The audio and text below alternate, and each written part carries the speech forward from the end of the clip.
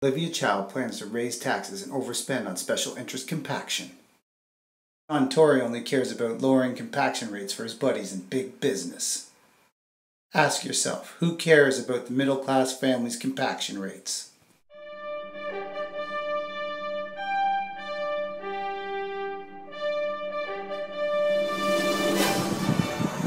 I'm Hardscape Rob Ford, and I approve this message. Message was paid for by the Lakeridge Brigade Super PAC for the re election of Hardscape Rob Ford.